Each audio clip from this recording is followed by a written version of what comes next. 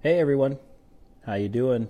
I'm in my garage, and uh, ha, that is a picture of my brother and me as a little guy.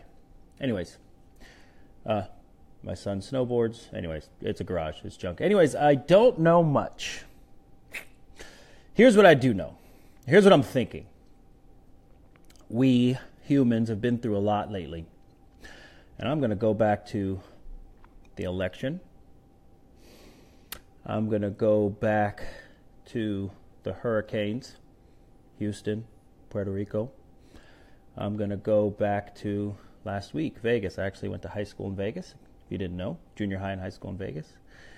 And now we have fires in Cali.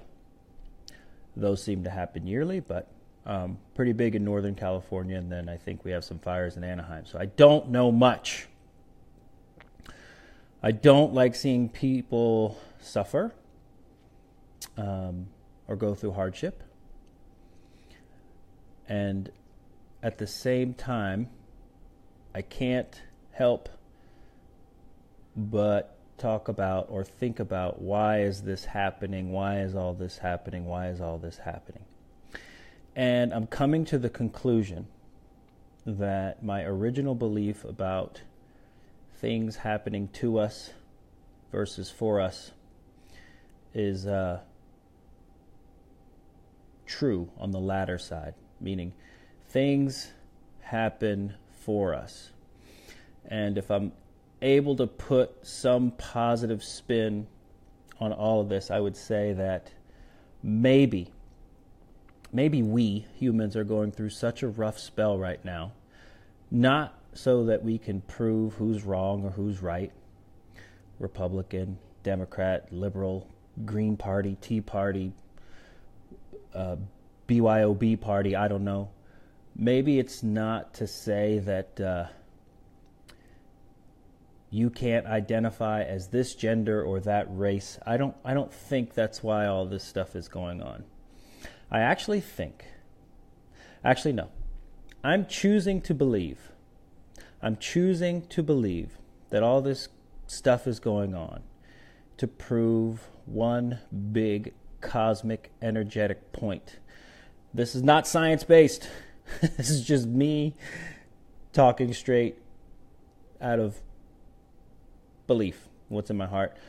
I think the big cosmic, energetic reason why all this stuff is going on is because it is to prove the point that once we get past race, once we get past money, once we get past gender, once we get past political party, that we humans all bleed, we all hurt, we all celebrate, we all rejoice.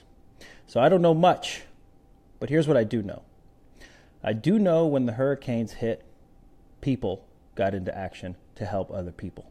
I do know that when that a hole unleashed a firestorm in Vegas, people got into action to help other people. I do know that last night, as fires were raging in Northern California, and fires are raging now in Northern California and in Orange County, that people are getting into action.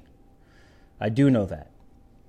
And I think, and I'm choosing to believe, that once we get past all of that shit that we talk on FB, about who's right and who did this and who did that and the names we call each other and the petty things that we talk about because we have the luxury to do so.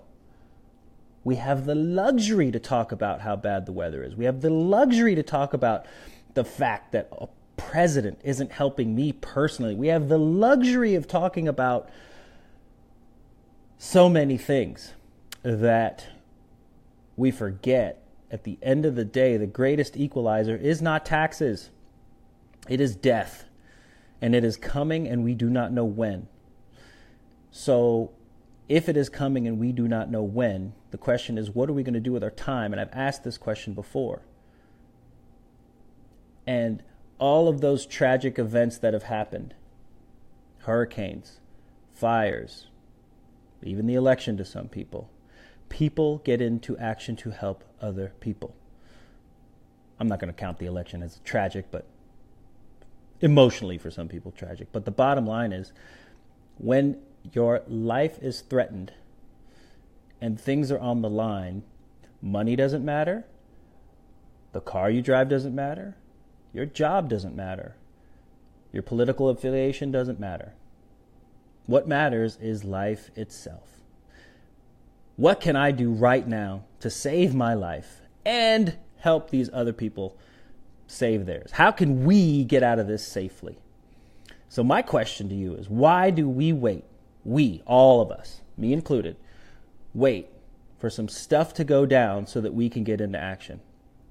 Why do we wait for a catastrophe, an earthquake, a fire, a hurricane, a tragedy for us to get into action?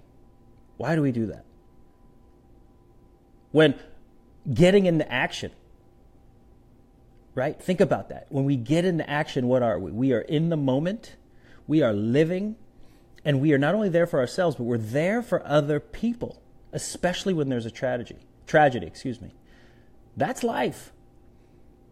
I'm not saying life is tragic. I'm saying that's living. Excuse me.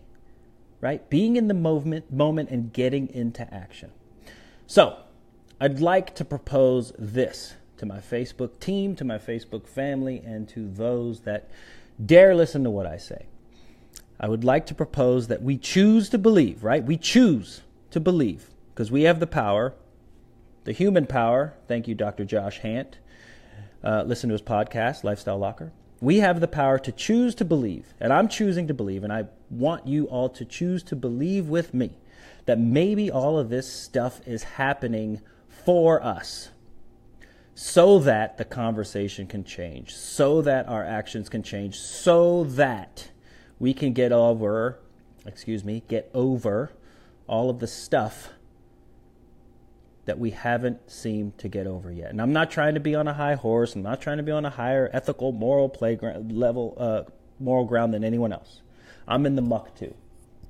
I do my best, but if I'm being honest, I get caught up in it too. So, lesson for today is to get into action for someone else. They are in need of help. Offer the helping hand. If they are hurting, offer a band aid or a way to help them be better. If someone is hungry, feed them if someone needs some money, do your best to loan what you can without any regard for whether or not it may not come it may come back or not. Lots of stuff going down, a lot of stuff going on and we humans are capable of so so much. We put planes in the sky. We put people on the moon. We light up buildings with the flick of a switch. I gotta think. I choose to think. I choose to believe that all of this stuff that happens happens for us. We will be better for it on the other side. I ask you to heed my words, take those into heart, and slow down just a second and uh, because we're all connected in this. I'm, I guarantee if you're listening to this, you know somebody who was affected in Vegas, you know somebody who's affected in Houston, you know somebody who's affected in Puerto Rico, you know somebody who's affected in Northern California, you know somebody who's affected in Anaheim. I guarantee you know somebody. And I'm not talking like six degrees Kevin Bacon stuff. I'm talking like one, two degrees, maybe three.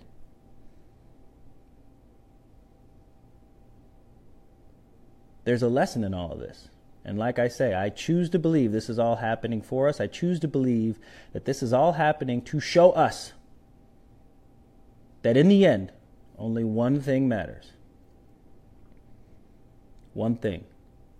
And it ain't affluence, it ain't influence. All right, that's all I got. As you know, I do love you guys. Catch me on my website, drjasonrichardson.com, or on Facebook. As always, you know I will do my best to respond to you. Gold Medal Mindset Podcast and uh, bring me in to speak. And uh, let's get through this. Peace.